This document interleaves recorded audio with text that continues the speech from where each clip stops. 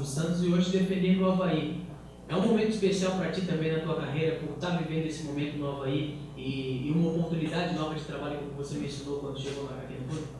Ah, com certeza, né? Sempre que você inicia um, um trabalho, é uma esperança que se renova, né? De fazer um grande trabalho, de, de fazer história na, naquele determinado clube. E é uma coisa que a gente falava assim que chegamos aqui comentávamos isso, né? Vocês perguntavam qual era o motivo de eu aceitar esse desafio, que o Havaí estava numa situação muito difícil no campeonato, com problemas né, até financeiros, administrativos aí.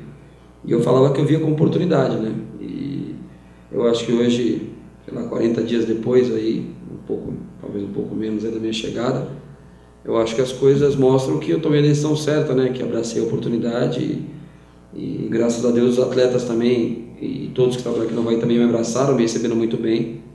E por esse motivo as coisas hoje estão melhores do que se apresentavam na, naquela época. Bom, você está completando 47 anos, é isso? Se, se não me falha a memória. E junto também contigo o ídolo da torcida havana, que é o Marquinhos, né? E são duas pessoas que hoje estão é, tendo um papel fundamental nessa arrancada, nessa recuperação do Havaí. É possível seguir assim até o final da competição e atingir esse objetivo? É o que a gente pretende, né? Eu acho assim, não, não digo que o papel veio do Marquinhos seja mais importante que dos outros, não. A gente está fazendo, eu estou fazendo o meu da melhor maneira possível, o Marquinhos está fazendo dele, né, de liderar a equipe, de dar assistências, de ser um, ter uma liderança positiva no vestiário também.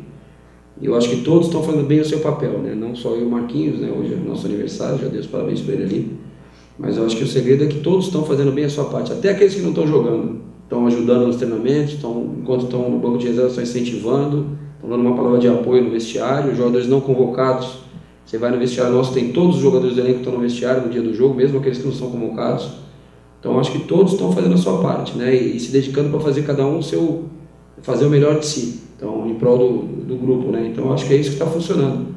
A gente tem, cada um, né? Eu tenho a minha função de, como já falei, de escalar, de determinar que forma que a gente vai jogar, de estudar o adversário Marquinhos tem essa liderança técnica, tem é, o fato de ser ídolo, ser o capitão da equipe, ele está exercendo isso muito bem no dia a dia. Né? E, então cada um tem a sua função. O Renan lá atrás, o Betão, enfim, todos os jogadores têm a sua função e todos estão procurando fazer é, bem feito a sua função. Acho que o grande segredo é esse. Ô Rodney, é, a tua ideia, né, até tu tinha mencionado depois do último jogo com o Joinville, com a ausência do Capa, era de colocar talvez o Luiz Gustavo fazendo a lateral esquerda, mas o alemão sentiu no treino de anteontem e ontem ele não trabalhou. Já foi passado para ti se o alemão vai estar à tua disposição amanhã? Sobre também o João Felipe, a gente viu que não iniciou como titular ontem, mas depois você colocou ele na vaga do Caio César. O que você está pensando em fazer nessas questões da lateral, é, já que o Gabriel atuou na esquerda, o Luiz Gustavo para a direita com a saída do alemão, e o João Felipe no meio de campo, se tiver condições, vai para a partida? Então, o alemão, ele, a gente vai até estudar o caso dele, ou ele vai fazer é, um trabalho ali um pouquinho antes de entrar no, no trabalho tático, a gente vai fazer ele, ele faz um pouquinho ali fora para ver como é que está se sentindo tá com uma tendinite, uma, tomou um pisão lá no jogo contra o Sampaio, vinha jogando com dor já. Aí teve um lance ali que ele pegou meio mal na bola no, no treino ali no CT e sentiu de novo o mesmo lugar, com um pouquinho mais, até uma dor um pouco mais aguda. Fez o exame, não foi nada de grave diagnosticado, mas aí o, a questão da dor, né? Tem o, o, limite de dor, a gente não sabe quanto ele vai suportar de dor. É um pé toda hora está chutando bola, você está pisando, está tá doendo toda hora. Então, ou ele vai fazer um teste agora e depois possivelmente entra no final do trabalho conosco, ou então a gente preserva ele, ele trata hoje e trata amanhã o dia inteiro e faz um teste antes do jogo, né? Você tem essas duas situações para o alemão. O Luiz ontem também acabou saindo do treino, sentiu um pouquinho, né? A gente colocou ele na direita e o Gabriel na esquerda, ele sentiu um pouquinho durante o treinamento de ontem. Também vai fazer um, um trabalhinho ali à parte, ver como é que tá, tá com um pouco de dor. Mas assim, a, a questão do Gabriel na esquerda é uma coisa que para mim está bem clara. Eu acho que o Gabriel fez bem a função ali, tem não vai ter talvez o apoio que o, que o Capa nos dá ao ataque, né? aquela transição ofensiva do Capa, apesar de ontem no treino ter chegado uma ou duas vezes na frente, mas vai nos dar uma consistência defensiva muito boa, né? um jogo aéreo muito bom, o time vai ficar uma equipe alta ali defensivamente, e se precisar durante o jogo a gente abrir um pouquinho mais, a gente tenta uma outra alternativa, vamos pensar numa alternativa para explorar, talvez vou colocar ali um jogador que tenha mais um apoio, põe o Renato ali para tentar ter essa saída já com o lateral e põe um atacante, enfim, temos que ter alternativas, mas a princípio é o Gabriel e na direita é, vamos ver ali o alemão, se o alemão puder, vamos ver o Luiz Gustavo. Se o Luiz Gustavo não puder, e tem o Gustavo também, que treinou muito bem ontem, vem treinando bem, aliás, bate muito bem na bola, um jogador tecnicamente muito bom. Então a gente tem, tem essas dúvidas, não é que você sabe que eu não gosto de esconder time, não estou fazendo mistério, é, realmente tem, não, não, não tenho como falar agora. Talvez daqui para o final do treino esteja bem claro até para vocês que vão acompanhar o treino, a equipe que vai iniciar. Mas enquanto ao João Felipe, se ele tiver condições, estiver ok, a gente vai ter o mesmo critério que teve o Betão. Não dá para ter um critério para o Betão, o Betão ficou, saiu do jogo contra o Bragantino, vai voltar a jogar. O João Felipe saiu contra o Bragantino, não vai voltar a jogar. Mesmo critério o Betão serve para o João. Se tiver em condições de jogar, volta o Caio retorna ali para ficar como opção, mostrou que tem potencial para jogar, já mostrou a cara, né, já mostrou sua qualidade. E a gente é o mais um jogador que a gente ganhou, aí o Caio Santos a gente sabe que a hora que precisar pode colocar para fazer essa função. Mas normalmente, se tiver condições de jogo, tiver se sentindo confiante para jogar, vai o João Felipe. Eu acho que é isso, não tem mais outras dúvidas não. A gente está observando né, no trabalho de ontem, é, principalmente quando o Havaí é atacado, a gente vê a função do Romulo vindo ajudar muito, pegando o lateral, vindo ajudar muito aqui, claro, o Marquinhos ficando lá na frente, até porque ele não tem mais né, essa condição física para ficar correndo, dando esse pique para vir ajudar aqui na marcação. Então, que importância tem o Romulo, além dele lá na frente, fazendo os gols que ele está fazendo, esse bom momento que ele vem vivendo, né, mas para ajudar também dentro dessa disposição na marcação? Eu acho fundamental. O futebol hoje todos têm que, né, vamos botar, todos não, vamos botar a exceção do Barcelona, que é uma equipe que às vezes opta por defender com, com sete jogadores, porque tem três jogadores né, que voltam um pouquinho só para fazer uma sombra, mas que resolvem o jogo na frente. E o adversário também não vem com tantos jogadores sabendo que tem, que tem ali o, o trio ali na frente que pode gerar, gerar problemas. Mas o normal do futebol é isso, a gente vê as equipes voltando, a seleção brasileira dessa forma também. Então a gente quer que o Rômulo volte, eu não quero que o Rômulo corra até a bandeirinha de escanteio atrás do lateral, não ser uma virada de bola, uma hora ou outra tem que vir, mas é, a intenção é que o Rômulo volte um pouco, depois ele vem para dentro e quem pega o corredor é o Gabriel, no caso, está jogando do lado do Rômulo. A questão do Marquinhos, ele tem condições de voltar, né? Só que se ele Marquinhos, tipo, puser o Marquinhos, Marquinhos volta toda hora e vem, em vez dele jogar 70, 80, ele vai jogar 45. Né? A gente quer ter o Marquinhos o máximo possível no campo, né? Uma, uma sequência maior de jogos que a gente puder. Então, a gente está optando por poupar em algumas, alguns momentos o Marquinhos, mas tem hora que o Marquinhos volta na do Romulo, até no treino aconteceu, o Romulo estava atacando, ele voltou acompanhando o lateral, ele não tem problema nenhum em voltar, né? ele não tem esse, né, que não tem limitação física para fazer isso, a gente simplesmente procura colocar ele numa situação confortável para evitar que ele tenha um desgaste desnecessário. Mas o Romulo está sendo realmente, para mim que não conhecia o jogador, né, eu posso dizer que para mim é uma grata surpresa, eu vim, não tinha muita expectativa, não conhecia bem o Romulo, vi jogando algumas vezes ano passado, depois saiu um pouquinho de cena e para mim é um jogador moderno, um jogador que todo mundo quer, um jogador que todo clube quer, que briga por todas as bolas, intenso. Colocamos na cabeça dele que ele tem que terminar as jogadas, tem finalizado bastante a gol, tem feito os gols. Então acho que tem sido muito importante, é o que eu falo, está fazendo o papel dele, né? não é mais importante que ninguém, mas está fazendo bem feito o papel dele. Ontem depois do percebeu que teve uma conversa sua com os jogadores, depois o presidente, a diretoria foi chamada. Marquinhos depois foi para a entrevista e falou o teor dessa conversa. Primeiro sobre as dificuldades que o Havaí vai enfrentar tendo esse jogo com o Paysandu e depois da questão salarial. Foram boas notícias que foram dadas para vocês, para o grupo de jogadores, em relação também à dificuldade, o que foi passado? Não, o presidente está trabalhando, né? A gente sabe, é, até o fato dele vir aqui, se reunir com os atletas no meio do campo, na frente da imprensa, mostra que ele não está se escondendo em nenhum momento, né? Ele poderia muito bem chamar dois jogadores na sala dele, ali quietinho, e falar alguma coisa mas não é o perfil que a gente tem visto do, do presidente Batistotti. Ele tem realmente exposto as coisas para os jogadores bem claramente. Ontem ele conversou, explicou a situação, né, explicou que alguma coisa seria resolvida já de imediato e a outra para a semana que vem deve ser resolvida. Os jogadores entenderam bem, deram esse, esse prazo a mais aí, sei lá, de alguns dias para aí, 10 dias talvez, né, porque eu acho combinado a se pagar até o dia 25, se não me engano. E vai ser, semana que vem você vai possivelmente no dia 5.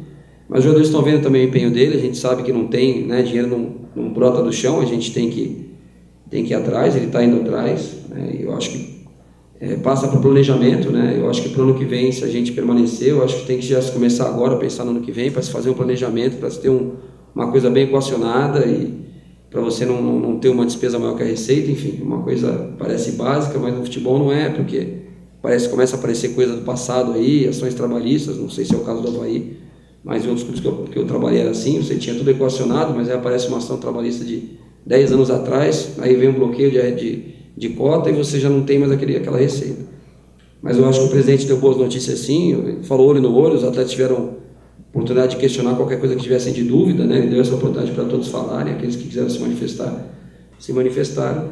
E a conversa anterior foi exatamente o que o Marquinhos falou. A gente está é, cada vez fica mais preocupado, né? Quanto mais, eu, é, assim, quanto mais eu ganho, mais incomodado eu fico de não deixar a coisa, a coisa degringolar, a coisa ficar ruim de novo como estava antes, né? Então a gente tem que estar tá sempre atento, tem que estar tá vigiando é, para que a gente não, não tenha aquela, aquela arrogância, aquela empáfia de achar que já somos os caras, entendeu? Aquela soberba, porque aí a gente vai começar a cair, não tem jeito. A gente está num, a gente tá numa percentual de, de aproveitamento que é uma coisa é, surreal, assim. A gente está fazendo, a gente está vendo que a gente está conseguindo fazer, mas você vê aí, qualquer campeonato é difícil uma equipe fazer o percentual que a gente está fazendo. A gente está com 80 e poucos por cento de pontos nos últimos sete jogos, né? Desde que o Evandro assumiu lá em São Luís e eu vim depois. Então não é fácil, mas também não quer dizer que tem que acabar uma hora. A gente tem que ir empurrando, vamos fazendo, vamos fazendo. E é isso que a gente tem preocupação, né? Que a gente não comece a, a perder um pouquinho o foco, a economizar um, um, de dar um carrinho, de dar um pique para marcar, entendeu? Ah, depois eu marco, ah, no próximo jogo a gente ganha. Não, a gente tem que vir como a gente está vindo até agora. E não estou alertando porque achei que mudou o comportamento, não. Quando o Joinville, vocês viram que foi 90 e tantos minutos desse jeito. Mas é, a gente tem que alertar antes de acontecer, não adianta de acontecer, vai falar depois. Então a gente está procurando falar isso, o Marquinhos falou muito bem ali também, né, como capitão da equipe, também enfatizou isso, que a gente tem que estar todo mundo mobilizado, um ajudando o outro. E é, eu acho que o caminho da nossa vitória é essa, é muita luta, muita transpiração e a gente tem jogadores para definir o jogo para a gente.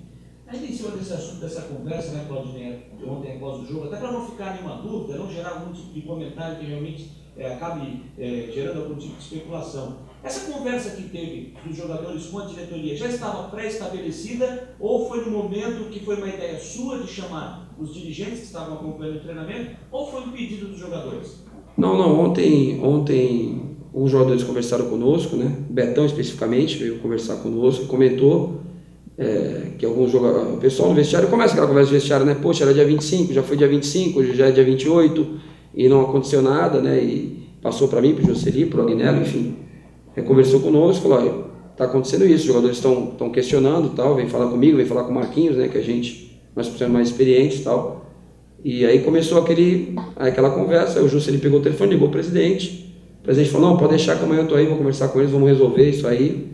E foi uma atitude, na realidade, partir do Jocely, né? A gente passou uma coisa até de hierarquia, né? A gente passou para Guinela, para o Jocely, até chegar no presidente. Eu tenho essa questão de, não gosto de falar na direto com o presidente, acho que tem pessoas ali para... Ele pode falar direto comigo, mas eu não posso falar direto com ele, né? Acho que eu tenho que respeitar a hierarquia. Então a gente conversou, o Jocely ligou para ele, ele se prontificou a vir aqui conversar com os atletas, partiu do presidente, né? E de ser no meio do campo ali, eu acho que foi até bom, e ficou claro para todo mundo que teve essa conversa, não tem nada, nada a se esconder. E a atitude foi do presidente, o Jocely, de ligar para ele e dele querer marcar essa reunião com os atletas.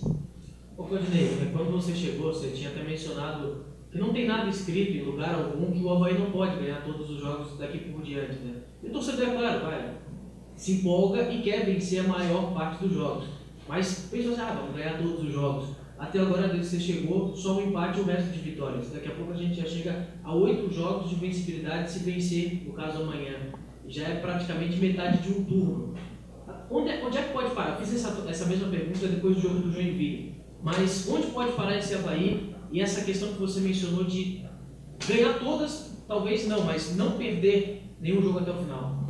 É, a gente está briga por isso, né? É, eu falei na, na, minha chegada, a gente não, não conhecia muito bem nem quer conhecer ainda, e que a gente ia jogar todos os jogos para ganhar. Dependendo da estratégia, jogo a jogo, se vamos jogar com bloco alto, bloco baixo, enfim. E a gente realmente não tem, eu falo para os jogadores, não tem limite, né? não tem, a gente vai jogar, joga o próximo, ganha o próximo, joga o próximo, ganha o próximo, o que a gente não promete é vitórias, né? a gente não está vindo aqui prometer facilidade, prometer vitória, ah, ver no estádio que a gente vai dar um show e vai golear e vai ganhar fácil, a gente está prometendo luta e organização, é o que a gente está entregando, né? eu não gosto de prometer uma coisa que eu não vou entregar, ah, vou marcar pressão o jogo inteiro, não vou dar um chutão, vou dar um, um show de bola, não, eu pro time organizado e brigando por todas as bolas. Foi o que eu sempre falei para vocês o que está acontecendo. A gente espera que a gente consiga, como eu falei, ganhar o segundo turno. A gente está, né, somos líderes do segundo turno, com quatro pontos na frente do Atlético. E é isso que eu estou falando para os jogadores. Ó. Vamos manter a liderança do primeiro turno vamos ver o que, que vai dar para a gente isso. Pô, se ganharmos todos os jogos até o final, a gente vai subir, não tem jeito. Hoje a gente está em terceiro. Né? Uma coisa que a gente é, era um sonho, né? hoje é um objetivo. A gente pode tratar como objetivo. Porque se falasse isso aí quando eu cheguei, era, pô, tem um sonho da gente subir. Eu concordava com vocês, está muito difícil. Hoje, A gente tem uma rodada que se a gente ganhar, a gente continua em terceiro. Na próxima rodada, se ganhar, é em terceiro. A gente tem uma coisa bem plausível, né? Se os atletas estavam se dedicando daquela forma, não sabendo onde ia parar depois da primeira vitória, depois da segunda vitória, eles não sabiam onde ia ficar. Décimo, a gente chegou a ganhar e ficar em décimo segundo, décimo terceiro. Né? Eu acho que agora que a gente sabendo que ganhando fica no G4, eu acho que com maior razão ainda eles vão correr, vão se dedicar, vão, vão, vão batalhar. Agora, uma hora pode ter um insucesso, aí a gente conta né, com inteligência, com a compreensão do torcedor do que acontecer, sendo em casa, sendo fora, sendo no próximo jogo, sendo daqui a 10 jogos, enfim. Um dia que tiver um tropeço, que o torcedor saiba entender que o que a gente fez até agora foi muito bom. Né? A gente sabe que é difícil, o torcedor é passional e está com expectativa de acesso. E a gente não pode obrigar, pedir essa, essa racionalidade ao torcedor. Mas eu, como comandante, eu tenho que ser racional e saber que uma hora pode acontecer a derrota. A gente quer adiar o máximo possível. Né? Não queremos perder, ninguém gosta de perder. Mas o dia que perder, que a gente tenha essa leitura de saber que a gente construiu, fez uma pontuação boa agora e não é uma derrota que vai nos impedir de conseguir mais nada na frente.